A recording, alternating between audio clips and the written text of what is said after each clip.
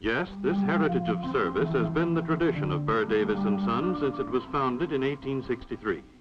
We have grown in that tradition, and our growth parallels that of Mount Vernon, this section of Westchester, and nearby Connecticut, whose families we are privileged to serve. In 1873, 10 years after this firm was founded, fire swept Fourth Avenue. Only the heroic efforts of a bucket brigade composed of Mr. Burr Davis and his staff saved his own and adjacent frame buildings from destruction. From the ruins, Mount Vernon rebuilt, but this time of stone and steel instead of the flimsy wood frame construction of the past. There have been other well-remembered landmarks along the road of progress. Here, for instance, is a view of South 4th Avenue after the great blizzard of 1888. Surely a marked contrast with the same scene today. But the face of our town has been changed less by fire and storm than by the hand of man.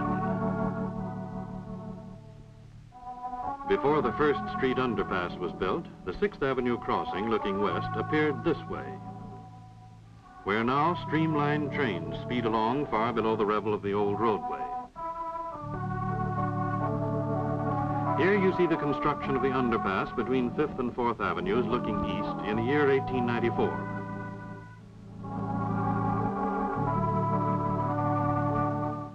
More than half a century later, the same scene looks this way. As the next photograph shows, by 1903 the establishment had expanded considerably. In that year, Mr. Burr Davis died, and the second generation carried on the heritage of service so faithfully that from this modest beginning, we have become the foremost establishment of its kind in the vicinity of New York. We are also the oldest business concern in Mount Vernon under the continuous management of one family, represented now by Mr. Burr Davis and Mr. Walter Davis of the third generation. Clients who enter through the Fourth Avenue entrance are instantly impressed by the restrained good taste, the quiet dignity of the foyer, beyond which lies a building a full city square deep, with more than 17,000 square feet of floor space. So come and make a tour of inspection with us. At the head of the stairs, an inspiring painting of the famous church of Mont Saint-Michel in France never fails to evoke appreciative comment from war veterans who fought to liberate that country. And in another corner of the upper hall, which leads to the reposing rooms, there are paintings of calm pastoral scenes.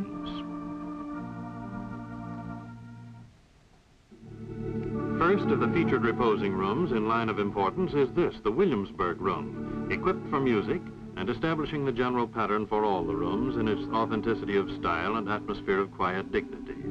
Here are exact reproductions of the furniture which graced the governor's palace, shown in this mural, in the pre-revolutionary days of Williamsburg, Virginia.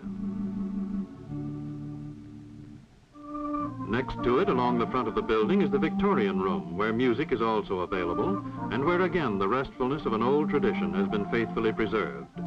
Finest of reproductions, a soft blue carpet and rich dusty rose draperies, the walls papered in gray blue relieved by a jonquil pattern, make the room truly homelike in a style many of us can remember from the days of our childhood.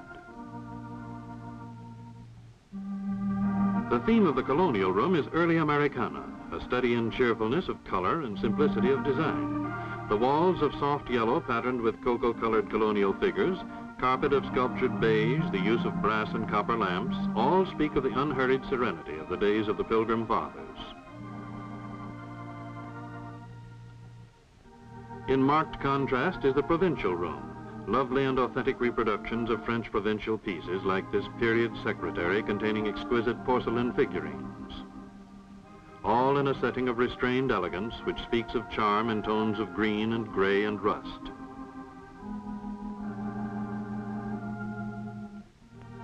Truly different is the smoking lounge. This modern room needs comfort and relaxation, providing a welcome interlude every now and then. So pretty and cheerful that one cannot help feeling refreshed after a brief period of rest. While the 4th Avenue entrance is primarily used by those on foot, this entrance on 3rd Avenue is really the service entrance. You will note that the Burr Davis name is both over the door and on the side of the driveway. Here is a view into our modern preparation room. Preparation has made great advances over the years, as have all other phases of funeral service work, and for many decades, Burr Davis & Son has maintained an enviable reputation for excellent work along these lines. Today, the modern preparation room plays a vitally important part in obtaining the desired results. Our process is truly an operation, and obviously the place for an operation is a room equipped for these special services. Our large garage right on the premises is intended for your comfort and convenience, since clients can always drive right in from South 3rd Avenue and leave their cars where they will be protected. When the time comes to form a procession, the cars are assembled in their proper order under cover, where they are sheltered both from the weather and the eyes of a curious public. There are many times when privacy means so much to the family, and so we provide this private family entrance to the chapel, making it possible to drive in off the street and leave your car at this doorway, protected from the elements and passers-by. This is the private stairway leading from the family entrance to the memorial chapel.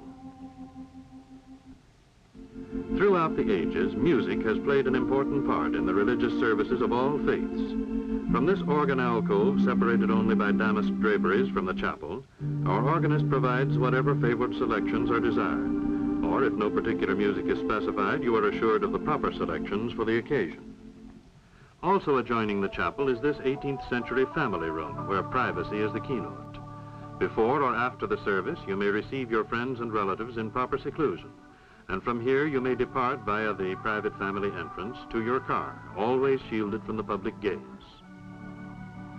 But most important, from here, through these glass curtains at the left, you may see and hear the service while yet remaining unseen from the chapel. In this place of solemn dignity, memorial services are conducted. Instead of movable chairs, fine oak pews lend an air of comfortable permanence, providing seating for 200 people. But all these things, the lovely chapel, private family room, modern preparation room, reposing rooms, garage, these are only the tangibles. Even more important is our heritage of service, and we of the third generation pledge the same fairness, sympathetic understanding, and perfection of service, even to the smallest detail, that was established by the founder, and which has made the name Burr Davis & Son, Westchester's largest and most beautiful establishment, synonymous with distinctive funeral service.